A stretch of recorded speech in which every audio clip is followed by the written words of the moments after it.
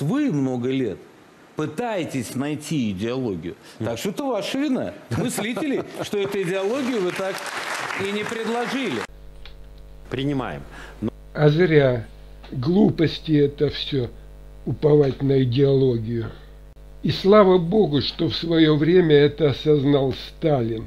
И именно то, что он сделал ставку на кредитно-денежную политику, предложенную классиком русской экономической мысли Сергеем Федоровичем Шараповым, позволило ему осуществить подлинное экономическое чудо, чудо советской индустриализации. Но главный вопрос заключается в том, что на протяжении 40 лет наша элита только одно хотела – входить в Запад.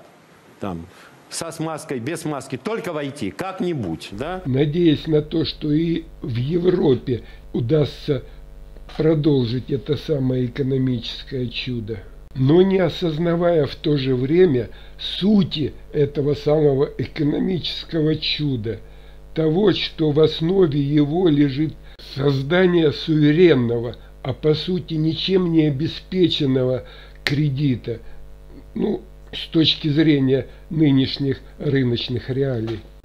То есть возведение таких пирамид, как пирамида Сбербанка СССР, а также тот же нынешний государственный долг США.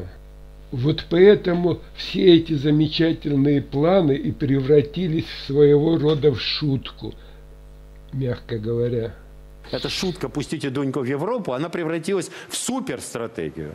И начал это, конечно, не Ельцин и не Горбачев, начал Юрий Вадимович Андропов.